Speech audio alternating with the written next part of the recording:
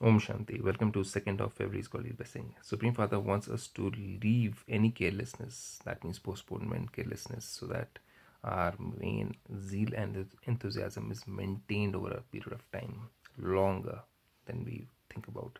So any kind of carelessness, postponement, it reduces the zeal and enthusiasm. Delay in any kind of work, you don't do it on time, you postpone it, automatically the zeal and enthusiasm also starts dropping down whether it's a personal experience or whether it's experience in a family or it's an experience in a corporate world. It works for everything.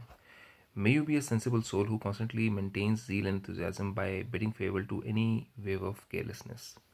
Some children become careless when they look at others. Oh, if he is lazing around, let me also laze around.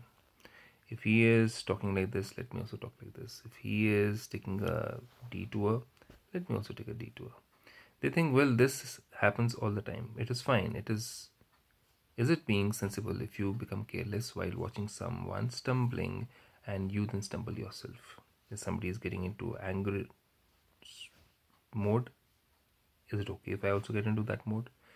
If somebody is talking or belittling somebody else should i also start belittling the other person Baba feels mercy because the time of repentance for those who remain careless will be so difficult. It's okay, we'll do it, yes. I'll overcome uh, anger, I'll overcome jealousy just before the complete transformation of hell into heaven happens. It will be too late then. Therefore, be sensible and let your mind bid farewell to any wave of carelessness or wave of looking at others.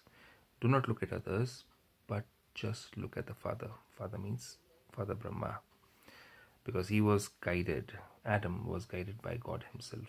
So adam is created in god's own eyes of knowledge om shanti